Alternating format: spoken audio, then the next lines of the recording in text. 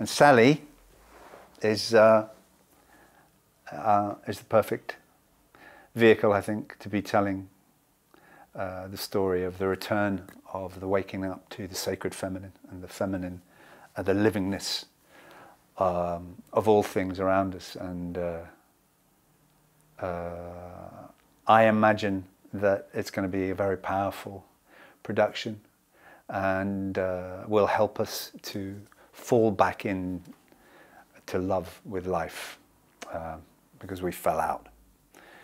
We fell out of the bed uh, of loving life.